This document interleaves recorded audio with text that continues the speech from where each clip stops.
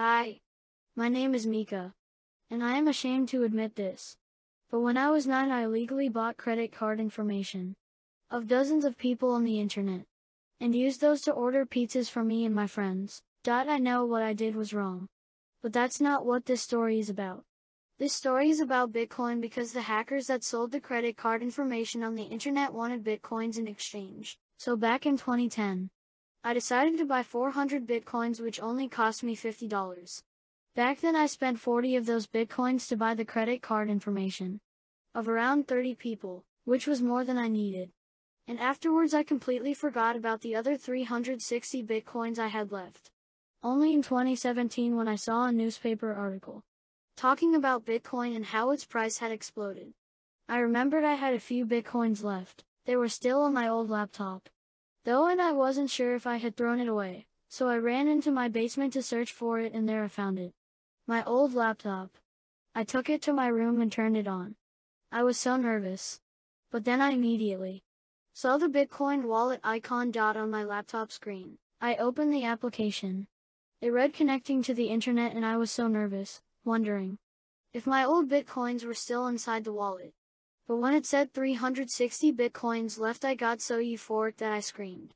As loud as I could. Next I typed into Google 360 Bitcoins converted to US dollar, because I had no idea how much they were actually worth. When it said 5 million US dollars. I first had to take a deep and long breath. Then I ran to my mom and screamed.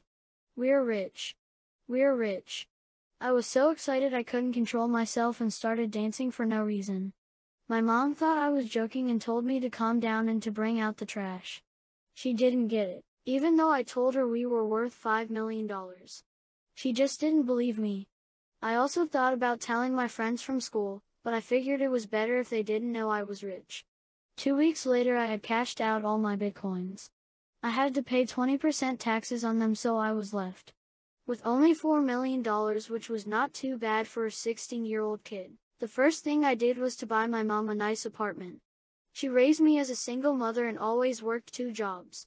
She had done so much for me and now I was finally able to pay her back. But when I showed her her new apartment she asked me if I was making money selling drugs. Oh my god mom, stop it. Just enjoy yourself. Why can't you just be happy? After I had spent $600,000 on the apartment, I put $3 million into a low-index S&P 500 fund which is one of the safest investments you can make. And I also kept another 200,000 for me and another 200,000 for my mom so we could spend it on whatever we wanted. Of course I bought myself a nice new car. It was a luxury SUV and when I arrived at school, everyone was impressed. Suddenly the kids that had made fun of me before kept their mouths shut. So did money change me as a person? Yes, absolutely. I have much more self-confidence now, even though I can't see I'm happier than before. I mean I'm still the guy playing video games. All day and hanging out with my old friends on the weekend. To be honest I thought that once I'm rich girls would be all over me, but that didn't happen at all. Was one time when I went to a bar with one of my friends and I bought a huge golden champagne bottle for $800, but even then no girl wanted to talk to us. It was a bit of a bummer. To be honest. The other thing is that I'm petrified about losing my money which is why I'm reading at least one book per week about investing. I know it was pure luck.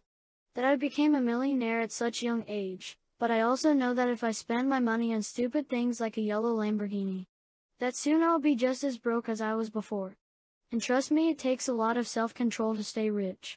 For example last week I bought a $30,000 gold chain with diamonds on it. It's so flashy that I can't even wear it outside because I'm scared someone will steal it from me.